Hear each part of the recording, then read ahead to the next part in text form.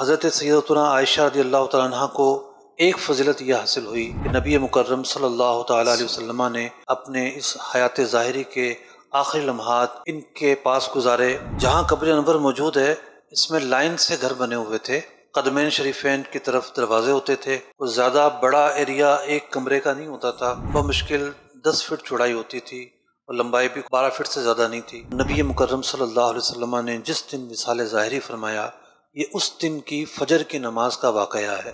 فجر کی نماز ہو رہی ہے۔ حجرہ مبارکہ سے پردہ ہٹتا ہے۔ صحابہ اکرام علیہ مردوان نماز کی حالت میں ہوتے ہوئے بخاری شریف کی حدیث ہے، حجرہ مبارکہ کی طرف متوجہ ہو جاتے ہیں۔ راوی کہتے ہیں کہ اگر حضور علیہ السلاۃ والسلام ہمیں اشارہ نہ کرتے کہ اپنی نماز جاری رکھو تو قریب تھا کہ ہم بے ہوش ہو کر گر جاتے۔ پیاری پیاری امی جان، سیدتنا عائشہ صدیقہ رضی اللہ تعالی عنہ کا گھر مدینہ منورہ میں کہاں واقع تھا؟ اگر سائل کی مراد وہ گھر ہے کہ جو نبی مکرم صلی اللہ علیہ وسلم کی طرف سے انہیں رہائش کے لیے ملا ہوا تھا، تو یہ تو وہی گھر ہے، وہی کمرہ، وہی حجرہ مبارک ہے، جہاں آج پیارے آقا علیہ صلاحت والسلام کی قبر انور موجود ہے۔ جہاں قبر انور موجود ہے اس میں لائن سے گھر بنے ہوئے تھے۔ قدمین شریفین کی طرف دروازے ہوتے تھے۔ جہاں دروازہ ہے، وہ حجرہ فاطمہ رضی اللہ تعالیٰ عنہ ہے۔ تو اس کے بعد ازواج متحرات کے گھر ہوتے تھے۔ وہ زیادہ بڑا ایریا ایک کمرے کا نہیں ہوتا تھا۔ بمشکل دس فٹ چوڑائی ہوتی تھی اور لمبائی بھی کچھ بارہ فٹ سے زیادہ نہیں تھی۔ جو پیمائش میں نے کتابوں میں پڑھی ہے۔ تو یوں یہ حجرات مبارکہ تھے۔ جہاں آج سلام پیش کیا جاتا ہے ایک سے زائد ازواج متحرات کے حجرے اس جگہ بھی تھے۔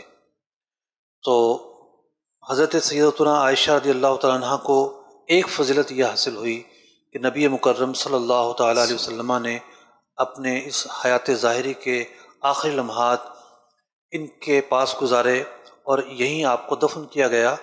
اور اگر سائل کی مراد یہ ہو کہ ان کے والد گرامی کا گھر کہاں تھا، تو ان کے والد گرامی کا جو گھر ہے، باب صدیق اکبر، جو مسجد نبوی کا ایک دروازہ ہے، آج کل یہ دروازہ تھوڑا سا دور ہو گیا ہے، چوڑائی کی وجہ سے سمت وہی ہے۔ مسجد نبوی شریف میں ستونوں پر کچھ علامات دی گئی ہیں، اس میں ایک اسٹار کی علامت بھی ہے۔ اور کچھ لائنیں بھی کھینچی گئی ہیں۔ ان کا مقصد یہ ہے کہ عہد رسالت میں یہاں تک مسجد تھی، اس کے بعد یہاں تک ہوئی تو تین چار طرح کے رموز وہاں بنائے گئے ہیں۔ تو حضرت صدیق اکبر رضی اللہ تعالیٰ عنہ کا جو گھر تھا، وہ کافی قریب تھا۔ یوں سمجھیے کہ جتنا حجرہ مبارکہ سے ریاض الجنہ کا ایریا ہے، اس کا ڈبل کر لیں۔ اس کے بعد گھر تھے۔ تو صحابہ کرام علیہ مردوان کے گھر تین طرف تو کم از کم تھے۔ تو صحابہ کرام علیہ مردوان اپنے گھروں کے اسی دروازے سے مسجد آ جایا کرتے تھے۔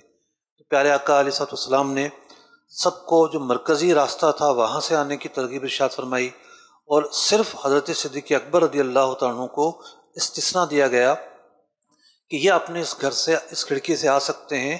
خو خاتو ابی بکر، یہ الفاظ حدیث پاک میں بیان ہوئے کہ سوائے ان کی جو کھڑکی ہے مسجد کی طرف کھلے گی، ان کا دروازہ مسجد کی طرف کھلے گا، تو آج بھی جب ہم باب صدیقی اکبر سے اندر داخل ہوتے ہیں اور پیچھے مڑ کر دیکھتے ہیں تو حدیث پاک کا جملہ لکھا ہوا ہے۔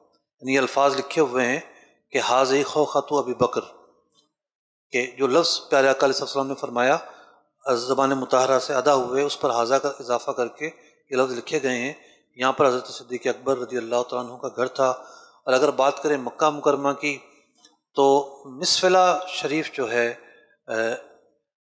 شار ابراہیم خلیل مشہور راستہ ہے۔ اس سے، اس کے بعد جو راستہ ہے وہ مصفلا کا علاقہ کہلاتا ہے۔ آج کل تو بڑے بڑے ہوٹل بنے ہوئے ہیں۔ اس علاقے کے اندر حضرت صدیق اکبر رضی اللہ تعالیٰ کا گھر مصفلا میں ہوا کرتا تھا۔ سرکار صلی اللہ تعالیٰ علیہ وسلم نے جیسے جیسے آپ کی جب شادی جن سے ہوئی تو ان کے لیے آپ نے الگ الگ مکانات کے بھی اہتمام فرمائے۔ تو مفتی صاحب، جیسے کہ امیر سنت سے بھی ہم نے سنا ہے کہ مسجد نبوی شریف ہے یعنی جو قدیم مدین منورہ کو جو بیان کیا جاتا ہے، یہ اب پورے کے پورا مسجد نبی شریف جو ہے نا یہ پورا مدین منورہ کے تعلق سے بیان کیا جاتا ہے۔ تو گویا کہ یہ جتنے بھی مکان تھے یعنی جو مدینہ منورہ میں جو مختلف مکانات بنے ہوئے تھے یہ اسی اتنی زیادہ زیادہ احاطے میں ہوں گے نا۔ یعنی صرف مکانات نہیں بلکہ ایک نواحی علاقہ بھی ہوتا ہے نا۔ جی ہاں۔ نواحی علاقہ بھی ہوتا ہے جیسے عید پڑھنے کی جگہ ہوتی ہے۔ ہاں۔ تو یوں جو قدیم مدینہ منورہ تھا وہ سارا کا سارا مسجد نبوی شریف میں آ گیا ہے۔ اور یہی وجہ ہے کہ باب مسجدی کی طرف بڑھیں تو وہاں دار عثمان رضی اللہ عنہ موجود ہے، ایک دروازہ تھے عمر فاروق کے نام سے منسوب ہے، تو یہاں ان حضرات کے گھر ہوا کرتے تھے۔ ایک بڑا ہی پیارا واقعہ میرے ذہن میں آ رہا ہے، حجرہ مبارک اور ریاض الجنہ کے تعلق سے۔ تاریخ بارہ ربی الاول ہے، دن پیر کا ہے، اور نبی مکرم صلی اللہ علیہ وسلم نے جس دن مثال ظاہری فرمایا، یہ اس دن کی فجر کی نماز کا واقعہ ہے۔ نبی مکرم صلی اللہ تعالیٰ علیہ وسلم نے کچھ دن کے لیے مسجد شریف آنا موقوف فرمایا اور یعنی جو آپ کی صحت کی شدت بڑھتی جا رہی تھی، تو صحابہ اکرام علیہ مردوان جن کی مسجد نبوی میں آنے کا ایک سب سے بڑا مقصد یہ ہوتا تھا کہ حضور علیہ صاحب السلام کی زیارت کر لیا کرتے تھے، تو وہ روز ہی جب آ رہے تھے اور حضور علیہ صاحب السلام کی زیارت نہیں ہو رہی تھی، ایک غم میں تھے، شدت میں تھے ایک فراق میں تھے۔ اب فجر کی نماز ہو رہی ہے، پیر کا دن ہے، بارہ ربی الاول ہے اور حجرہ مبارکہ سے پردہ ہٹتا ہے۔ تو اس پورے پس منظر میں ایسا لگتا ہے کہ ریاض الجنہ کی طرف دروازہ تھا۔ تو حجرہ مبارکہ سے پردہ ہٹتا ہے اور صحابہ اکرام علیہ مردوان نماز کی حالت میں ہوتے ہوئے، بخاری شریف کی حدیث ہے، حجرہ مبارکہ کی طرف متوجہ ہو جاتے ہیں۔ تو نبی مکرم صلی اللہ علیہ وسلم انہیں اشارہ کرتے ہیں کہ اپنی نماز جاری رکھو۔ راوی کہتے ہیں کہ اگر حضور علیہ السلاۃ والسلام ہمیں اشارہ نہ کرتے کہ اپنی نماز جاری رکھو تو قریب تھا کہ ہم بے ہوش ہو کر گر جاتے۔ اور پھر راوی نبی مکرم صلی اللہ علیہ وسلم کا جو رخ زیبا ہے، چہرہ منورہ ہے، اس کی ایک نقشہ کھینچتے ہوئے کہتے ہیں کہ انہا ورقہ تو مصحفن ہم نے جو منظر دیکھا کہ گویا کہ سونے سے ملمہ کیا ہوا کوئی ورقہ ہے، ہم نے ایسا منظر دیکھا۔ یعنی جو تشبیہات استعمال کرتے تھے کسی چیز کی خوبصورتی بیان کرنے کے لیے، جو الفاظ بہتر سے بہتر چناؤ کر سکتے تھے، جس چیز کی چمک سے وہ تشبیح دے سکتے تھے، جیسے تلوار سے، سورج سے، سونے کی چمک سے، سونے کی جو ایک کھلی ہوئی رنگت ہوتی ہے، اس سے تو ان الفاظوں سے انہوں نے تشبیح دی۔ اب حدیث میں یہ بھی الفاظ ہیں۔ حدیث روایت میں کہ نبی مکرم صلی اللہ علیہ وسلم نے جب اشارہ فرما دیا تو آپ نے تبسم فرمایا اور پھر پردہ اپنی جگہ پر آ گیا اور یہ آخری زیارت تھی حیات طیبہ کی جو حضرات صحابہ کرام علیہ مردوان نے کی۔ محدثین لکھتے ہیں کہ کیا وجہ تھی کہ اس موقع پر نبی مکرم صلی اللہ تعالیٰ علیہ وسلم نے تبسم کیوں فرمایا؟ تو اس کی وجہ یہ بیان کی کہ حضور علیہ صاحب السلام نے اطمینان محسوس کیا کہ میری غیر موجودگی میں بھی یہ مجتمع ہیں یکجاں ہیں اور امامت کر رہے ہیں۔ حضرت سیدنا صدیق اکبر رضی اللہ عنہ کہ ان کی امامت پر بھی یہ متفق ہیں یکجاں ہیں۔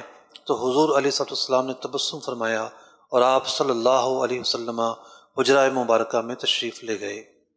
صاحب ایسا کوئی حدیث پاک میں ہے جملہ یا ملتا ہے کہ جب صحابہ کرام علیہ مردوان نے رخ روشن کو اس کی زیارت کی تو گویا کہ یہ بھی روایت کے کوئی لفظ ملتے ہیں کہ ہم نے دیکھا کہ ایسا ہے چہرہ پاک جیسے کھلا ہوا قرآن ہے۔ اس طرح کے لفظ ملتے ہیں؟